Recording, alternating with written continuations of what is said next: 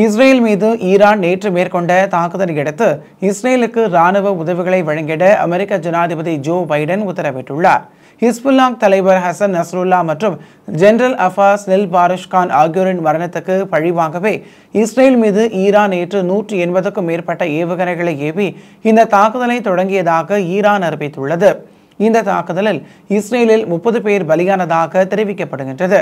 இதேவேளை இந்த தாக்குதலை முறியடிக்க அமெரிக்க கப்பல்களும் விமானங்களும் நிலைநிறுத்தப்பட்டுள்ளதாக வெள்ளை மாளிகையின் மூத்த அதிகாரி தெரிவித்துள்ளார்.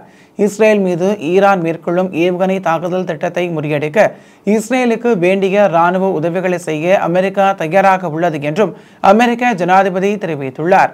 இதேவேளை லெபனானில் உள்ள போராளி குழுவான ஹிஸ்புல்லாவுக்கு ஆதரவாக ஈரானில் இருந்து இஸ்ரேல் மீது தாக்குதல் நடத்தினால் கடுமையான விளைவுகள் ஏற்படும் என இஸ்ரேலும் அமெரிக்காவும் எச்சரித்துள்ளன. இந்நிலையில் இஸ்ரேல் மீது ஏவுகணை தாக்குதல் நடத்தி ஈரான் மிகப்பெரிய தவறை இழைத்துவிட்டது.